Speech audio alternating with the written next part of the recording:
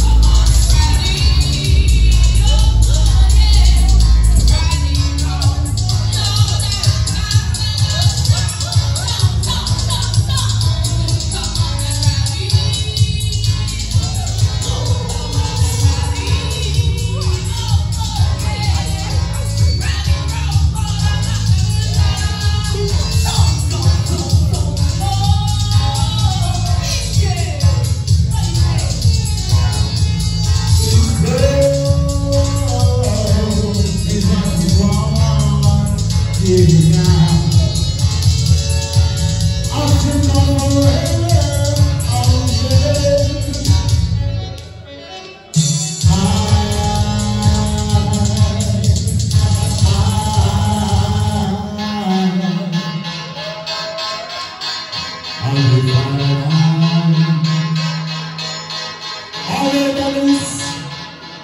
will say guidance and love.